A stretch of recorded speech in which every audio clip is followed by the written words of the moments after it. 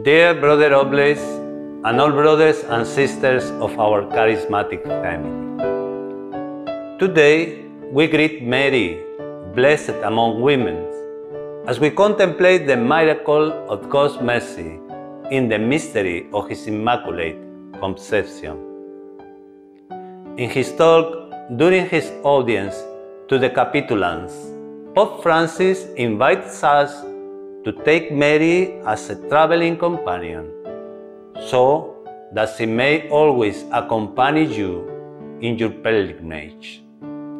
May Mary also be for you an example in this, for your life and for your mission. On this feast day, I want to get back on the road with Mary and with all our family to gradually become such a missionary pilgrimage, source of hope in communion, as was the dream of our general chapter. The Gospel text proposed by the Pope tells of Mary's encounters with Elizabeth. For many, this Gospel passage is an inspiring paradigm of the Church's missionary action. Called to be to announce and to share the mystery of salvation that dwells within us, we go out with haste to meet the other, placing ourselves at their service as Mary did. I would like to begin and continue a conversation with all the members of our church family. What contemplation of this gospel passage brings us for our life and our mission. Let's be creative in putting on the common table what each one is discovering. In these days, I will have the acts of the general chapter. Believe that a good acceptance of the chapter document will occur when each and every member of our charismatic family becomes an animator of the post-chapter phase.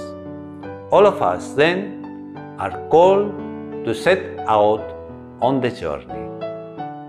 Will you allow me in this phase of acceptance of the post-chapter animation to propose once again as a model what Mary experienced in the mystery of the visitation?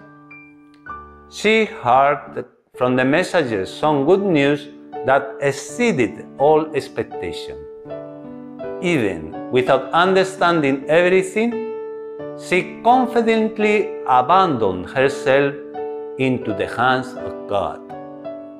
Walking with confidence, she let faith and hope grow in their heart, repeatedly remembering that for God nothing is impossible. And in this pilgrimage journey, Mary was a sacrament an announcement of the presence of the Savior in our history. Putting herself at the service of Elizabeth, she received the gift of the confirmation of her own identity. Let us merit to teach us to wholeheartedly become the grace of the last general chapter. Let us walk with her hand in hand putting ourselves at the service of the other and living the joy of being prophets of communion and hope. I would like to invite you to accompany me with your prayer in the pilgrimage that I will undertake to embrace and show communion with other brothers in Ukraine. With them, I would also like to embrace all the members of our charismatic family, which are in pilgrimage in difficult situations, in suffering, hit by all kinds of violent situations caused by injustice and human ambition.